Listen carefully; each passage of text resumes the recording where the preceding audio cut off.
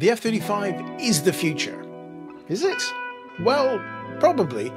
But today on the Damcasters, we're going to look at its troubled past and difficult present to see what the future may hold. Welcome to the Damcasters, brought to you in association with the Pima Air and Space Museum. I'm your host, Matt Bone.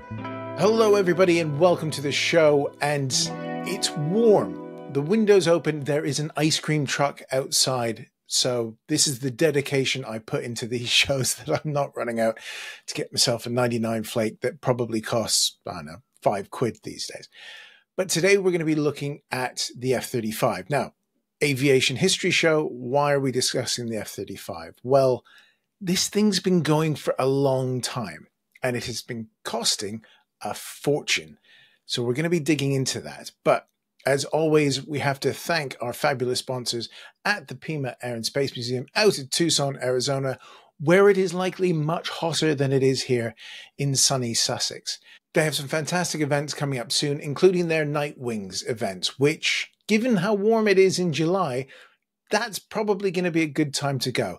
They've got some astronomy bits coming on. All the links for that will be in the description below. Do head over to see them. It really is an incredible place.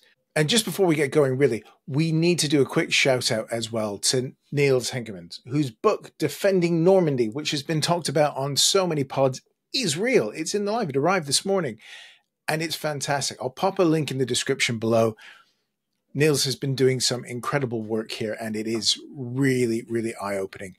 And from what I've read, it has been worth the wait. But today, F 35, and we're going to be chatting with veteran aviation journalist and independent aviation analyst Bill Sweetman, whose latest book is The Trillion Dollar Train Wreck How the F 35 Hollowed Out the United States Air Force. And it's not a big book, but goodness does Bill pack a lot in. And we're going to pick out a few elements of this. A lot of it is programmatic issues through the program that have increased costs.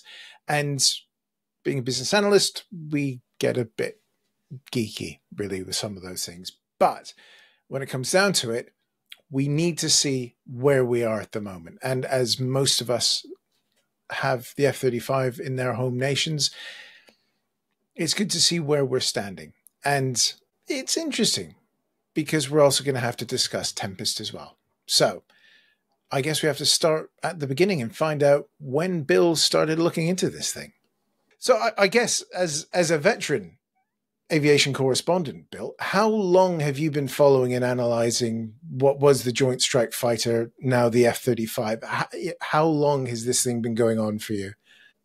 Amazingly, um, almost uh, almost forty years, um, because the, the, the the precursor of Joint Strike Fighter um, was something called US UK ASTOVL, and the MOU was signed in um, at uh, NASA Ames Research Center in 19, January of 1986, and um, I don't exactly know quite how I got um, the the message through, but um, I was uh, invited to that. I was living in the Bay Area at the time.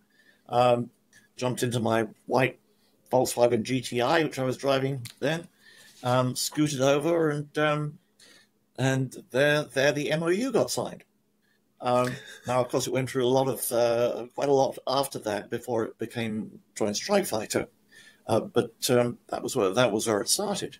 Um, and it became JSF what about ten years later. And I, I guess you know there's so much noise around this now, and we're going to get into that in a bit. But I guess let's start at the beginning with with that very interesting concept of of the Joint Strike Fighter. Is it realistic to sort of call it this idea for an everything fighter, the sort of post history world? You only need one thing to do all the jobs. Is that a sort of a reasonable summation of it? Yeah, I mean, you had to look back to you know back to the, the formative years because really the, the the first ASTOVL program ran into a lot of problems. None of the concepts they were looking at really worked. So Joint Strike Fighter itself really took place right after the end of the Cold War, which was you know pretty shattering. And at the time, you know, it, it looked like you know Russia was never to rise again. Um, and we weren't even beginning to see modernization in China, you got a tremendous amount of churn and a tremendous, tremendous amount of uncertainty. It's like, well, we've got all these combat aircraft, we've got a very modern air force. You know, do we just stop doing anything like end of World War One? Um, but how do we keep, you know, how does the US, how does the industry and the military, how do they keep up the, uh, maintain the muscle to, to replace what they have, which, as I said, is not an urgent requirement. So out of that comes two things that are very closely linked. Uh, one is a big program that uh, will solve all our issues, uh, replace everything, uh, but not until 2010. That's you know almost almost 20 years away from from the start point. And the other is, well, we use this big program to force industry to consolidate, because we've still got. Um, I mean, we still had I think seven companies that uh, responded to the Advanced Tactical Fighter, which was F 22. And, you know, there's just no way we can sustain seven, seven companies anymore. So at, at, the time that the JSF requirement is evolving, Deputy Defense Secretary Bill Perry invites the uh, bosses of industry in 1993 to a private dinner at his home and uh, proceeds to tell them you're either going to get you're either going to merge or go out of business, and that creates this huge wave of mergers, uh, and you know brings together most of the companies on three JSF candidates, um, and eventually you you have one visit, uh, winning winning JSF team, which uh, Northrop Grumman joins with, um, with Lockheed Martin after after Lockheed Martin gets selected, and then when McDonnell Douglas loses that down select in 1996, then uh, the immediate result is they they go and um, are acquired by Boeing, which of course has massive effects on the industry to this day. So it, it's sort of this post Last Supper. It becomes the sort of bastard child of appropriation, really, doesn't it? The, the, as everything starts funneling down towards these things, it mm-hmm. takes on a life of its own. Yeah, it becomes it, it, it becomes a political and industrial concept and within that, that's probably why you're able to hammer together a, a requirement which ostensibly can be met by a single aircraft. Hmm. At the same time, at the same time, they're going. You know, they also um, the U.S. has a long-standing goal of maintaining its status on global markets, international markets. Hmm. Um, if you look, you know, pre-JSF, end of Cold War, well, it looks like you know there's some new new new products um, coming out of Europe, but uh, you know F-16, F-18 are getting a little old. So there has been a long-standing requirement to do something for the export markets. And again, one function of JSF is to sustain and expand U.S. dominance on the on the international market. So it it, it really is this multi-pronged beast, isn't it? You, things, I guess the things like the Eurofighter, Gripen, Rafale, all, all, all of these other sort of slightly lighter weight projects are put putting the fear into the export market that the US have mm. had tied up for so long. Yeah. Hmm. Yes. One of the things that jumped out to me quite early in in in your book was the original timeline for the F thirty five, which had completely passed me by because was it 2025 the production run was originally supposed to end? Did, am I remembering I that right? Was, I think I'm remembering looking back at the original documents after uh, the time that Lockheed was Lockheed Martin was selected to build the F-35 itself. That was 2001. At that time, I think the final order for the Air Force was something like fiscal 27, 26, which would have been a 2028, 2029 delivery. So essentially by now, yeah, they would be almost done if they'd stayed on, stayed on schedule. And they were going to build at a rate of 110 a year just for the Air Force. And the Navy and Marines would have been finished even quicker. Which, which is which is mad, and we're going to get into why that is mad now. But for for, for the, the, the two people listening and watching this who aren't quite sure what the F thirty five is, I, I, suppose we should really explain what it's become because it's mm. not one aircraft, even though that's what the sales pitch is. Is it? It's three distinct flavors that kind of look the same. And I think that's probably where the similarities between the yes. three come to an end. Would you mind sort of just giving us that sort of potted? What does A, B, and C mean when we when we see these things come up and when when we see our tax pounds head, heading heading off in that direction for for for, for A's and B's? Yeah. Well, what you've got coming off the assembly line now is a strike fighter, probably more oriented towards bombing than air combat. Um, and the, the, the, there are three versions, and they have basically very similar avionics and, and mostly similar propulsion. And I think, you know, I think the best way to look at it is to say that the, the, the core version is the Marine one, is the F 35B that is operated by the Marines and the Royal Air Force and that's a short take vertical landing aircraft. And um, the the key to how it works is that uh, the engine drives the engine in up and away flight. It's a normal jet engine um, for short takeoff, vertical landing. The, the engine has a shaft on the front that is clutched into a lift fan that's installed vertically behind the cockpit. And the, the lift fan does two things. One is it balances out the lift front and rear between the vectoring nozzle at the back and the lift fan, so the thrust is going through the center of gravity. Um, and the other is it greatly increases the air volume through the whole power plant. In a sense, it is a variable cycle engine. Um, that's what provides uh, almost 40,000 pounds of vertical lift for the aircraft. Then for the Air Force, you take that aircraft and, and you remove the vectoring nozzle, the shaft, and the lift fan. And uh, that actually gives you slightly larger weapon bays. And then the Navy, again, a bit like the Air Force aircraft, except because it has to land on a carrier, it needs a very much larger wing, as, as well as you know strength and structure and arrestor hook. So you've got an aircraft there, there that's got an extremely large wing, and um, Consequently, it has a big drag disadvantage at transonic and, and, and supersonic speeds. Um, but again, also has a larger weapon base Air Force aircraft. And um, the, the, aircraft is designed to have a fairly large measure of stealth. Um, that means that the surfaces, the, the, external surfaces, are all aligned or angled um, to reduce radar reflectivity. And it also means that the primary weapon load uh, which is in the order of five thousand pounds for the two for, for, the Air Force and Navy aircraft. The primary weapon load is carried um, is is carried internally in weapon bays out uh, to either side of the engine. When you have vertical takeoff aircraft, it's very difficult to do that um, if you have more than one engine for various reasons. But basically, if you have two engines, you have twice the chance of an engine failure but if it's in vertical flight, you're not you you, you can't you're not going to stay airborne. so um, so VTOL aircraft usually have only one primary engine. That means that uh, when you start configuring the aircraft, and it's got a very large engine, you've got to wrap everything around that engine tunnel. And that leads you to a somewhat complicated internal layout. Um, but just to back up just a bit, um, initially it was thought that actually that was very much like how the aircraft would be put together. Yeah, you just take you know take the engine, take the lift fan out for the Air Force aircraft, put a fuel tank in there.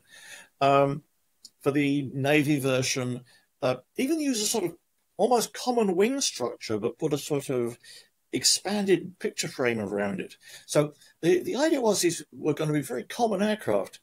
Um, now, but then partly because you've got this huge engine tunnel down the middle, and that much complexity in how the aircraft put get, gets put together.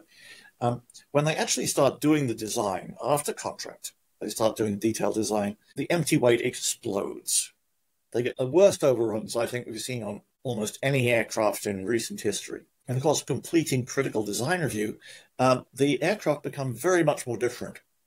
So uh, while the engines and the avionics remain and the cockpit remain fairly similar, um, the airframes become, in detail, I think almost entirely different. Uh, because you have to do so much weight saving on the on the vertical takeoff aircraft, and on the carrier version, they got into a sort of wing area versus weight spiral, where they kept having to add wing, but of course that added weight, so uh, weight and drag, so um, you know more weight, more drag, um, and you get and so you ended up with a very much larger wing than on on the uh, on either on the other two versions. So yeah, you lost a lot of commonality there.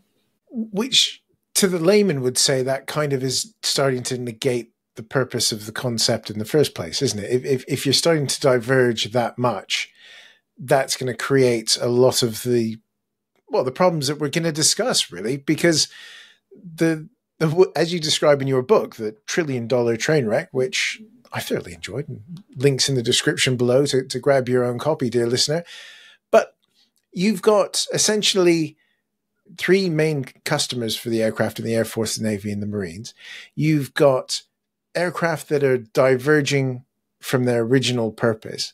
Now, almost every aircraft program has weight problems as things start going up. That's fine. But you've got three lots of these programs. Everything's becoming a multiple of three.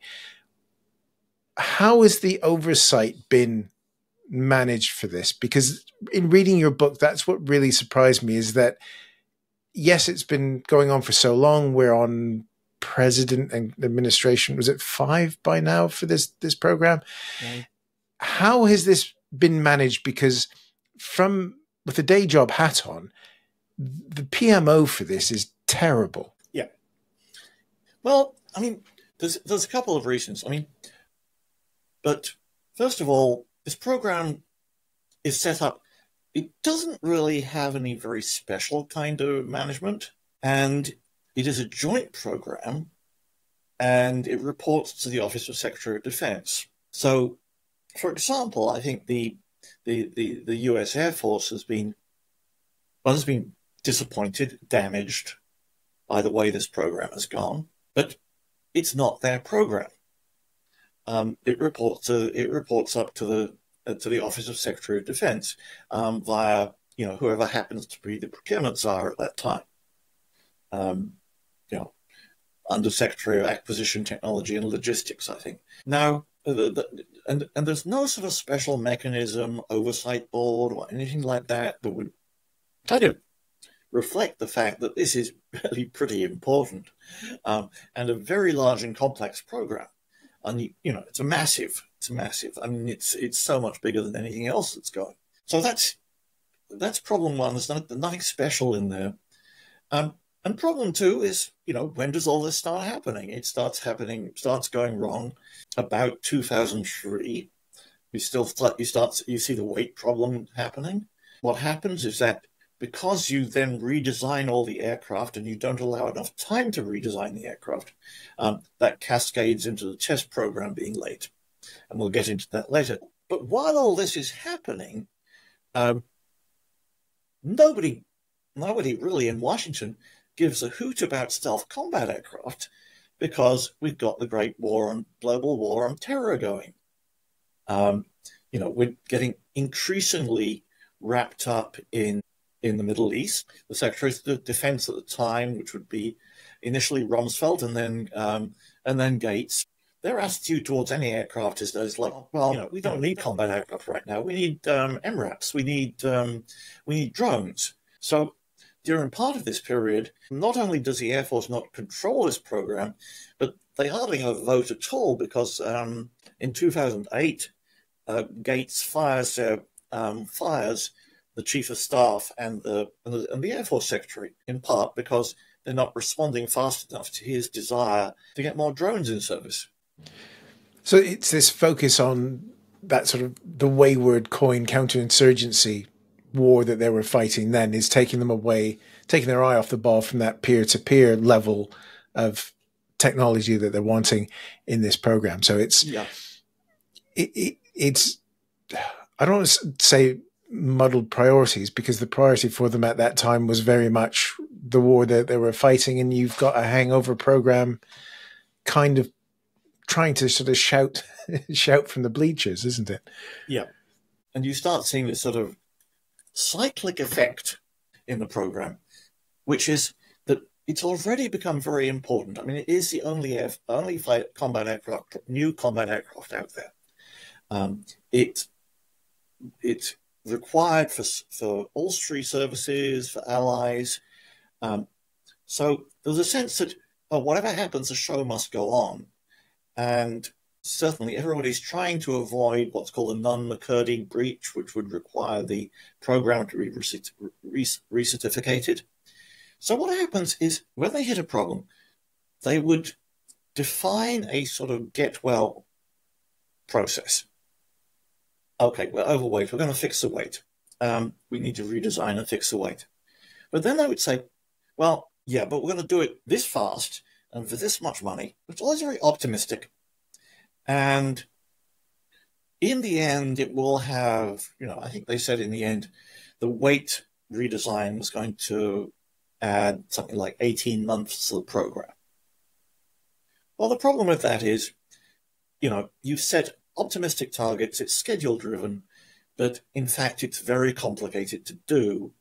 And the next thing you know, it's behind schedule um, and over budget.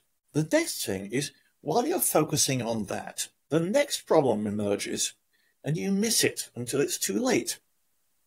So, for example, as the, the weight produ- reduction problem involved redesigning three aircraft, that took a long lot more time than expected. Um, and so the aircraft that was supposed to come in and do flight testing uh, were delivered late and they weren't ready. And, you know, that was compounded by the um, the, the, the, the, program office director at the time, um, who wanted to wanted his schedule to look good. So he prioritized first flight dates um, uh, and delivery dates for the for, for the test aircraft. And what happened was they were signing off delivery aircraft as delivered that weren't ready to join the test program because by the time uh, uh as they were being built, more design changes were being implemented.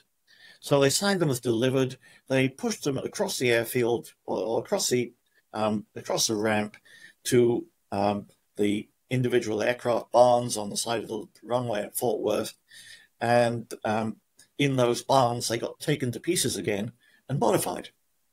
So, you know, your test program was follow, following well behind. So, you know, again, you do a fix. You um, and this this case it was oh, well, the aircraft are late, um, but you know what? Um, it's not really test, it's validation. And whenever you hear, hear those phrases, you should run very fast. um, you're, you're giving me re- nightmares of a number of projects I've worked on. and of course, this is happening at enormous scale. It's not really test, it's evaluate validation. So we'll just chop a ton of, of sorties out of the test program. And so essentially, that process is going on in, in 2009, which is when Gates chops the F 22, um, announces that, you know, tells the world the F 35 is fine, it's on schedule, everything's going marvelous, uh, it's going to cost half as much as an F 22, and so forth. Anyway, um, Gates is being told that and apparently believes it and nobody quite dares to contradict him until uh, until he gets a new deputy, Ashton Carter, um, the late Ashton Carter, who starts looking into this and goes and realizes he's got a mess on his hands. So just a few months after Gates has been telling everybody how good he, well it's going, um, he's got to fire the program director um, early 2010, fires the program director, um, brings in a new team, um, the, the Admiral Venlet, Dave Venlet, and um, and Chris Bogdan, and they realize they fire a lot of people, but then they realize that it's such a mess. It takes them another three years, more than three years, to actually establish a schedule for getting to IOC. And, and what, sorry, what is IOC? Just initial for... operational cap- operational capability, um, and that's a very paper operational capability. And you know, the, the, they established, I think, IOC dates for the Air Force, uh, I think the Marines, then the Air Force, and the Navy, but, you know, well ahead of a useful capability. And they do that by um, they do that by deferring a lot of capability to later programs, later later upgrades.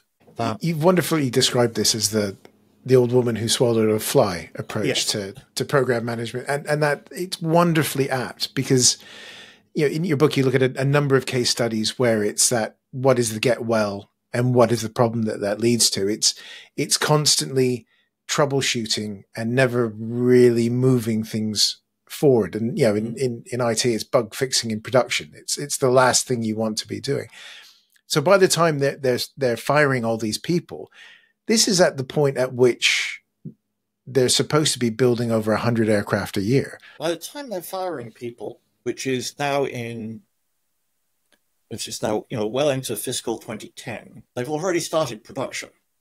The first production aircraft were ordered in um, ordered in 2007, and it's supposedly in low rate initial production, uh, but th- th- there is um, there is a ramp inherent in production um, to try and get you know the idea being to try and keep the unit cost down. So you know all the while, I mean, by the time they've got you know by the time they actually have some IOC dates, um, they're, produce, they're building dozens of aircraft a year. And eventually, two things are happening at this point. One is that a lot of the problems are beginning to concentrate in software. And the other is that by about 2015, the Air Force is beginning to uh, demonstrate concern, show concern, because the aircraft that they're going to get for IOC, which is so called Block 3, isn't the aircraft they really want. Um, they want um, combination of enhancements, um, fixes, and also obsolescence cures because you know these are systems that have been de- designed already, you know, nearly 20 years ago, or def- a requirement that was defined 20 years ago. Um, an aircraft that was being under development for 14 years. And so, yeah, there's, there's things they want to change. And so Air Force starts saying, look, we want to restrain, hold back on buying aircraft, you know, stick to about 42 a year um, until Block 4 comes along. So the Air Force has been trying to do that, and Congress tends to push back and uh, and, and and and and procure more aircraft. Meanwhile, because the U.S. rate is uh, the, the the rate at which the DoD is buying is not quite where it's supposed to be, the Allied customers um, particularly like Australia and Norway, um, are being you know pushed and cajoled to buy all their aircraft early. So they've got a lot of aircraft now that are going to be require expensive fixes. But then in background, you've got a couple of other issues going. One is that um, is heat management, thermal management, which is you know it's it's an issue on any aircraft, but a stealth aircraft is has been described as a bit like a sort of thermos bottle rather than a it's you it's it's you can't just cut holes in it for air cooling here and there. Um, and so you know the you have to get rid of the rid of the heat via the engine exhaust through the fan through the the, the fan duct um, or dump it into the fuel and burn it. But you've only got so much capacity within within the engine and within the thermal management system to handle that. So um, thermal management starts to become a, a, a running issue and something that in the long term is going to have to be fixed. Um, the other thing, of course, is software. Just just on the thermal issue, because yeah. the, the, the thing that is fascinating about the F thirty five is how it's designed to dump as much heat as possible into the fuel. And when I saw one fly a few years ago, I was astonished at the heat plume coming out of the back of it. You could see it from quite a ways away. And of course, that was step one to negating stealth was to use the infrared spectrum to start seeing these things when they weren't showing up on radar. So this problem is compounding and drawing on and is actually hampering that sort of main stealth element of it because you know we're going to talk about software just in a second but you're having hardware problems trying to be fixed by software, which is taking more energy, which is creating more heat, which then brings you to the other thing, which I didn't put on the list, but of course they're now talking about it needing a new engine as well. So it's this sort of problem upon problem that is, from my standpoint, almost insurmountable at, at this point in time. As, as if I was working in that program office, the post-its on the wall would just be wallpaper by this point of, of, of issues. Yeah, I mean, there's a lot of bad stories in this, but um, when the when the program started, there was actually I mean, the, the, the, the, it was it was part of the plan to develop an alternate engine, and GE and Rolls Royce were doing that. Um, the engine called the F136, and and again, they they were running a bit later than Pratt and Whitney. That was again part of the plan. They would compete in later lots of production, and because they were running later, they could kind of see this thermal problem coming up, as well as you know, as well as the fact the aircraft would probably just naturally tend to need more power. Um, so they designed their engine with a little bit bigger core airflow, a little bit more airflow generally, and a little more in reserve to be able to handle some of these some of these issues. But then in 2006, as the cost overruns start to hit, um, the the Pentagon, Lockheed Martin, Pratt and Whitney all quietly agree that um, yeah, we should get rid of this alternate engine and use the money for something else. GE obviously will lobby against it, so you get a big um, a big fight going on in Washington. The tactic used by Pratt and Whitney is to argue that you know they won competitions to be the engine on the F-35, and this is purely political to give a GE some work. And of course, you know, they never won a competition. um, yet they, they they kept saying this, and eventually, eventually, about five years later, GE Rolls said, you know, they gave up. Um, but, you know, that could have helped us today. You actually need to redesign the engine so that it can provide more. I think because you can then bleed more airflow off into the power and thermal management system, and that can then you know, recirculate heat more effectively. And well, that's that's what's being done. Now there was another option, which was to change the engine completely and put in one, uh, a brand new adaptive cycle engine. And that was being considered up until a couple of years ago. And then somebody found out or decided that that wouldn't work for the Marines. It wouldn't, you couldn't adapt that engine to the STOVL cycle, which is quite possible. And so we're back with a warmed over version of the F 135. Uh, it's sole source, of course, to Pratt & Whitney, now part of RTX.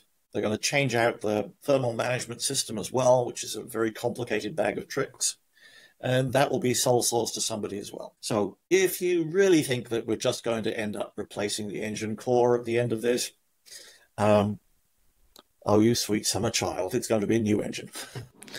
It's, it's funny how those things always end up that way, yeah. We're going to take a quick break to pop to the Pima Air and Space Museum to visit with Director of Collections Andrew Bailey and find out about one of the aircraft in the incredible Pima collection. Welcome here to the Pima Air and Space Museum. It's 108 degrees out in the desert, so what better aircraft to talk about than the Mirage? The Dassault Mirage 3 was one of the iconic Cold War fighter airplanes. It was the first European fighter that could fly past Mach 2 in level flight. The Israelis used it in combat in the Middle East, and the Argentinians used them in combat in the Falklands. In the 1960s, the Swiss government chose the Dassault as their new fighter aircraft. The aircraft was built under contract in Switzerland, but had to have many modifications made to it. Hoist points were put on the aircraft to allow it to be carried inside the caves that they were stored in on the mountainsides. JATO rockets had to be used on it for short takeoffs on Swiss airfields. And the radar and a lot of the avionics were replaced from French avionics to American avionics. This led to huge cost overruns. The aircraft went over 66% over budget and led to what was known as the Mirage Affair, which essentially meant several high ranking Air Force officers and government officials lost their jobs over it. The fighter version went into service in 1966, and the reconnaissance version went into service in 69. The reconnaissance version, like the one that we have here, had the radar on the nose replaced with a suite of cameras. Could also carry a reconnaissance pod on the underside. It still retained defensive armament. It had two 30 millimeter cannons and could also use the AIM-9 Sidewinder. The Mirage RSs went out of service in 2003, giving service to the Swiss Air Force 30 plus years. To find out what's going on at the Pima Air and Space Museum and to see the incredible collection that they have, please visit www www.pimaair.org for more information and be sure to give them a follow via all the links in the description to this episode. And now, back to the show. It's maddening to a degree looking at it from the outside because what quite possibly could could be a, a very good aircraft is, is is lost in in all of this phenomenal amount of noise that's around it and poor management. We've we've spoken about the U.S. Air Force, U.S. Navy, U.S. Marine Corps. If it was just those three, this would be tricky enough. But as you've mentioned before, we've got a phenomenal sales push on this aircraft as well oh. through all the NATO partners. So you, have mentioned Australia, Norway, RAF, Fleet Air Arm. It Canada's just finally been convinced to go to go for it as as well. It, it seems well, it it is an incredible incredible sales marvel for the amount of orders that are coming in for it. But then that adds more complexity due to adding more requirements into a mix when they can't fix the requirements that they've already got outstanding for the original three. How has that sort of you, you mentioned you called it the, the, the sovereignty issue around the aircraft as mm. well. How does that get? In? Because I can remember there being tales of the data streams coming from the aircraft having to go through the, US first before it could come to the RAF controllers and things like that because of the prior um, pri- uh, prior priority. Um, you know the word when somebody owns the, the proprietary yes, the proprietary issues on it. Yeah. It just seemed very strange that anyone would want to lock themselves into it. It's it's almost like you're you're buying into an Apple ecosystem that isn't that isn't hmm. being as updated as your iPhone. Mean that, that's a that's another another interesting part of the tale because if you go back again, you know, to go back, you this is all stuff that is it can tends to get buried in history, but Back in 2006, British Minister for Defence Procurement Paul Drayson was saying, oh yeah, we, we are going to insist on having access to the source code. We want to be able to um, modify this aircraft. We want to be able to change, um, install, our, integrate our own weapons, uh, and uh, certainly want to be able to modify the mission data files, which a lot of that is a question of um, electronic order of battle information. Um, you know, we and, and Drayson said, well, we want to insist on this. And well, a few years later, um, an official involved with the um, possibly guy at Department of State named John Schreiber, um, State or Defense, um, just said, no, that, well, no, that isn't going to happen we're not going to share source code. And um, so the situation today is that the is the mission data files for the aircraft are updated by a US Air Force unit located at Eglin Air Force Base. And there are, I believe, three labs there. And there is an um, basically an AUKUS lab, which is currently UK and Australia, will also, will, will also be Canada, I think has a, I think they said it has about 40 staff, 40 um, non-US staff there. And then you go down to different levels and the, the different labs have a few observers or just a few people in them. And so when you get to non-NATO, there really there, there really is not a lot of, um, of, of customer country involvement in that process. And at the same time, you have um, you know, on board the on board the UK carriers and um, and and at, at Marham, you have uh, US appointed um, security officers working uh, to ensure that everything is done according to US rules. So, you know, for example, one issue was that, um, that came out in the in the accident report after the uh, after the F thirty five B trundled off the end of Queen Elizabeth and fell into the water. Um, the, the, one issue that came out was that um, the, the, the the security officers had declared the deck to be a sterile area, and so there were very few opportunities for the crew to come out and get, get any fresh air on the deck, and that was being listed as a cause of a cause of crew fatigue and um, possibly a, a con- contribution to the accident. So you've got very tight control.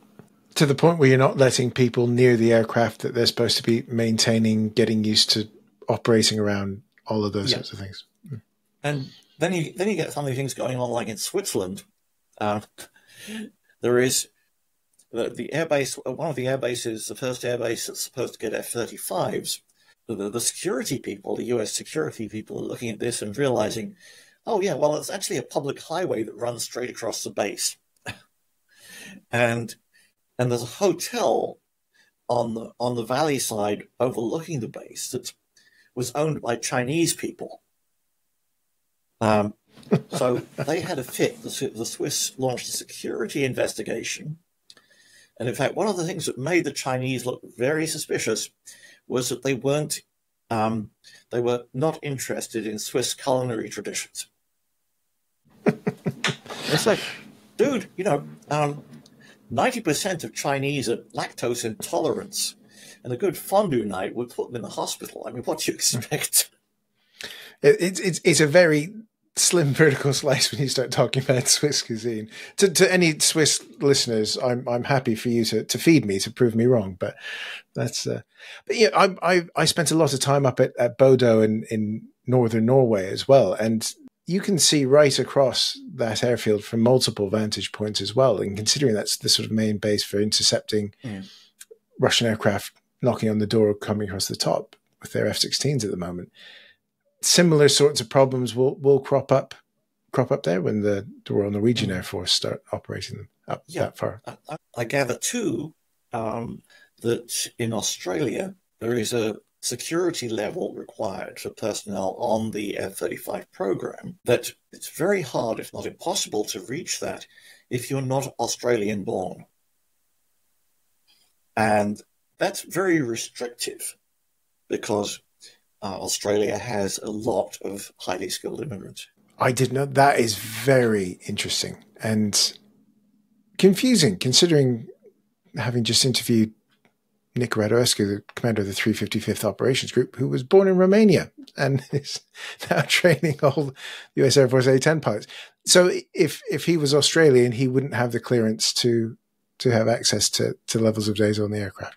I mean, it seems to be it it, it seems to be that that's an Aust- uh, uh, an Australian policy. That's what I've been told by some people who are familiar with the situation.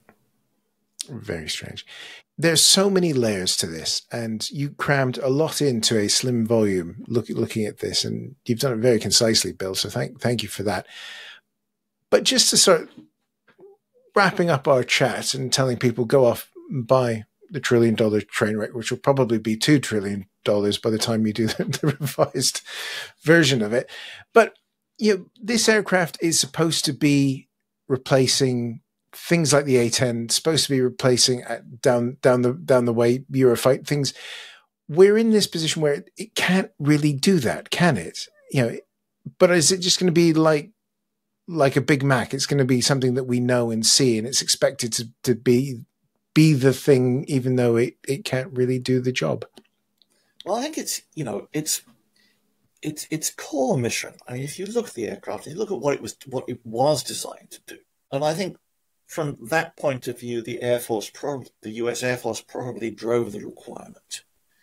Um, you know, this is just um, the, the, this is all being put together um, just a few years after the, the Gulf War One, Desert Storm, and they're saying, well, what we want is something that can do what an F-117 does, um, That is, drop a couple of high precision bombs. We're likely to be able to survive in daylight um, and have some capability to attack through adverse weather. So we need radar um, and we need some air to air capability on it. Um, but that's all kind of se- secondary. And uh, yeah, and as for range, well, you know, our primary theatre of operation might be about as large as the Desert Storm Theatre. If we can get a range that's a bit better than an F 16, then, then we're kind of happy. Now, if you're talking about the Pacific now, you're kind of short of range. And you've also got um, some very sophisticated adversaries who are doing things to uh, reduce the value of stealth, to, you know, to some extent, uh, use counter stealth. And you know, some of that is going to be effective. Um, so what you've got really is, uh, is, is, is an aircraft that's probably going to be quite effective as a bomber, as a strike aircraft in European range, in, in the, um, in the European or Middle East range context. Doesn't really have the legs to operate from outside the threat in the in the Pacific, uh, which becomes you know it's okay. They have a lot of aircraft that do that, um, but ideally you'd want a bit more range. As for air to air, doesn't really have performance of, uh, uh, of something. It doesn't have the performance of something like Typhoon. In fact, I've just I've just revised the book a little bit, and I've included some of this. But um, stealth in air to air is a bit questionable. If you are, you know, looked at F twenty two versus an early Su twenty seven, yeah, you were probably going to see it way out um, and be able to engage it uh, before you detect it. There is a lot more to um, air to air now because uh, electronic surveillance measures on board standard fighter have improved. Everybody's got AESA. Everybody's got a bit of um, front sector radar cross section reduction. And it just makes the business of seeing without being seen, seeing without being detected because of your radar emissions, it makes it that little bit harder. And as you mentioned, there's also the infrared. The US, a long time ago, um, as they were finalizing the specs for the F 22, they looked at where infrared was then and they said, oh, you know, it's not that good, it's not worth it, we're not going to do it. And they kind of stopped developing infrared search and track. And um, most particularly, um, the Typhoon program, led by Leonardo, persisted very hard with IRST, primarily as a counter jamming uh, sensor. And they have got to places where I think the US hasn't quite realized they've got to places. Which, which is fascinating because it's sort of around that time um, that Dale Zelko gets shot down in the stealth fighter over Serbia, isn't it? And that was IR assisted. It, it, mm. it's it's it's a it's a weird decision making pro- process. I, I suppose it, it, it's time to to bring in our interesting sort of final question here, which is the two new elephants in the room, which are these new multinational programs that are springing up in response to F 35, which I, I, don't think is a, an unfair thing to, to say. So mm. we've got the, the future combat air system and then um, the the GCAP as well, which is yeah. Getting a lot of lot of noise now, Tempest and, and things like that. Yeah. Are these things getting the traction that they are because of this sort of long gestation. I won't use the word nightmare, but it kind of is with, with the F 35. Are these things getting the traction that they are and the buy in from countries like Japan, um, the UK, Italy? Is this because they're looking at the problems they're facing with the aircraft that they have bought and are saying, we need something different. We need something a bit lighter and a bit cheaper. To start, I mean, to start with FCAS or SCAF if you're French, with with that, I mean, the French. I think the French were always going to do their own thing if they possibly could, and you know, for something like that, they can. You know, they can. They, they, they've they've got Rafale. Rafale is still under being developed and improved. So. Um, that was a pretty logical decision for them. Um, I think it's. I think GCAP is the more interesting one because back in 2015, in their in the Strategic Defence and Security Review, the UK government said, "Oh yeah, we're still committed to 138 F-35s," um, and uh, barely said a word about any subsequent combat aircraft. And I know that in 2016, well, I was involved in discussions on, well, do you, um, does the UK perhaps want to get involved in the UCAV program? And, you know, we were getting some fairly positive vibes. And then very suddenly, you get this, um, you know, massive strategic re- reverse ferret. And by 2018, Farnborough 2018, um, Tempest is well underway. And then on the other side of the world, um, you know, Japan was, you know, issuing an RFI for, you know, a partner to develop their next aircraft. And they were saying, oh, yeah, well, we do want, um, we, we want freedom of modification. And this is all through that damn RFI was, you know, freedom of modification. and you can't guess how much attention the US paid to that. Um, if your if your response is a is, is a vulgar a vulgar expression ending in all, yeah, you may take your cookies from my desk. and because it was absolutely inconceivable from the US point of view that the, that Japan would go off and work with the Brits, even though you know there was a discussion going on. They just um, they just did not believe it would happen. So I think you know, sovereignty and integration of weapons and being able to control development, I think that that's a that's I mean that is what got GCAP started.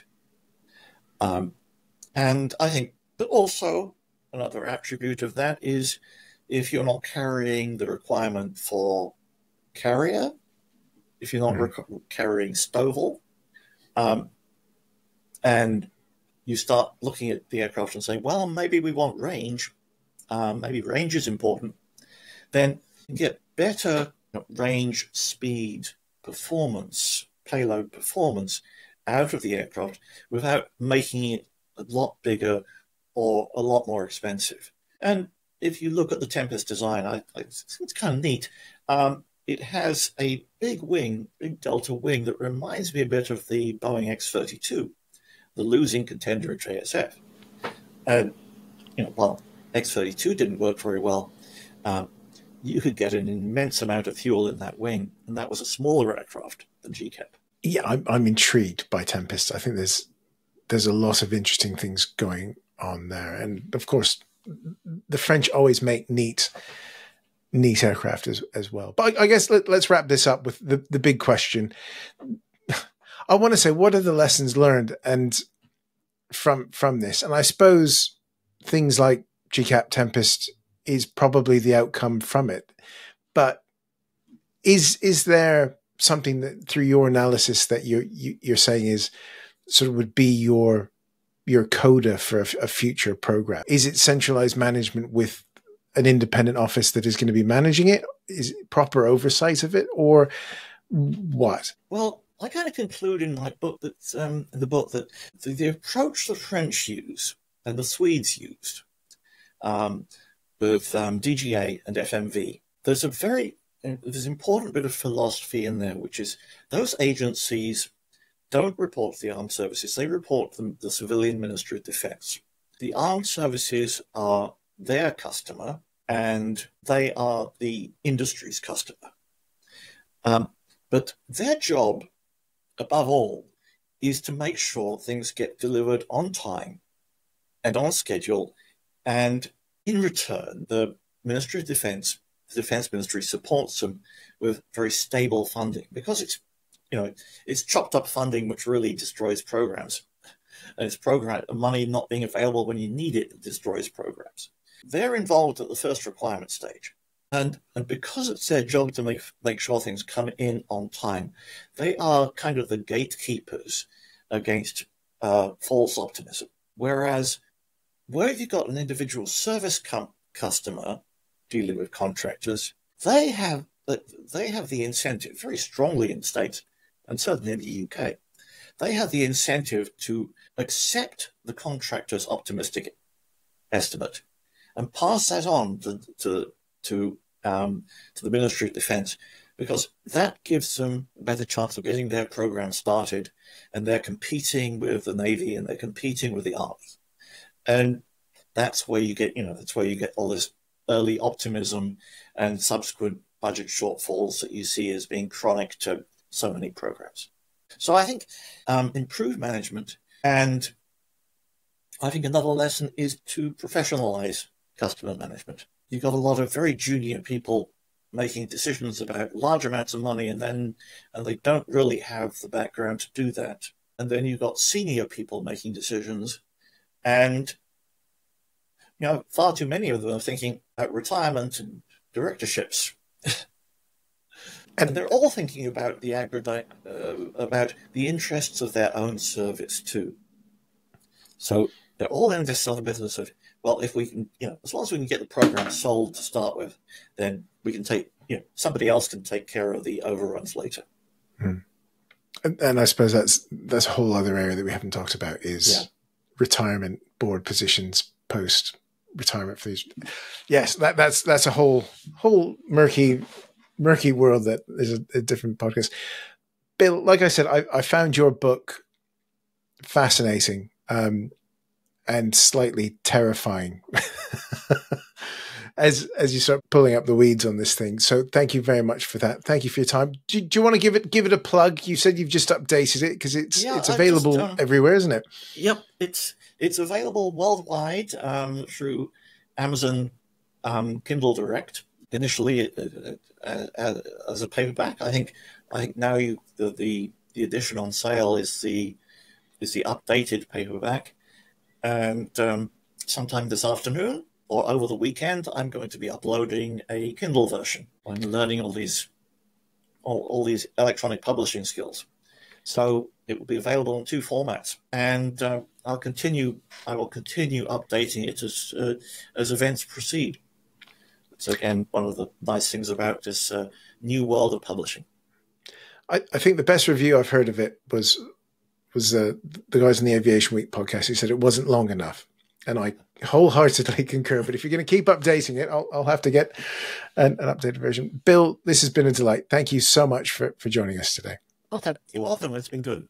I cannot thank Bill Sweetman enough for joining us here on the Damcasters and for his book, which has been updated since I've read it, which, of course, Links are in the description below to both this and the new Kindle edition, which has been updated since this one has come out. So do check all those out because this is very interesting, especially when we start considering the alternatives that are coming up with the likes of Tempest, which we'll have to look at in a future episode.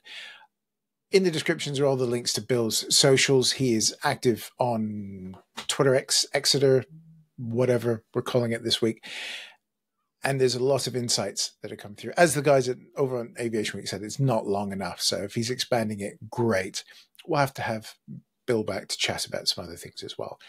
As always, thank you for your incredible support. If you fancy becoming a Damcaster and getting these episodes early, that would be wonderful of you. It's just £3 a month plus a bit of VAT at the bottom tier. And we've got our Zoom social coming up at the end of July. So Zoom Social 3. And we're going to get some guests in for that, see what we can do. So if you're over there, you can join us Saturday evening, crack open some drinks, and we gossip about stuff. I'm thinking airplane films if in my brain because I have an idea. But you have to be a Damcasteer for that. Again, Bill's book, links in the description below. Please do grab that because I was fascinated by it and made quite angry about it. And also made some of my professional projects that didn't go exactly to plan feel a bit better. Next time, we are going to be chatting with Adam Higginbotham about the Challenger disaster and his new book, Challenger, which is a good title. It's a fabulous book. And when I'm recording this, we haven't actually spoken yet. So I'm really looking forward to that discussion because I watched that happen on telly when I was a youngin. So, yeah, it was real. Anyways, Challenger next. We'll see what else we've got. Become a Damcaster. You'll get it almost as soon as it's finished in the edit. So, Thank you so much. Thank you to Pima. Remember, check out Nils's book as well. And if you're in Tucson and you fancy doing something in the evening hours, Night Wings sounds great. I won't be around for that because I'm sensibly avoiding Arizona until it gets a bit cooler. Maybe November. We shall see. Thank you.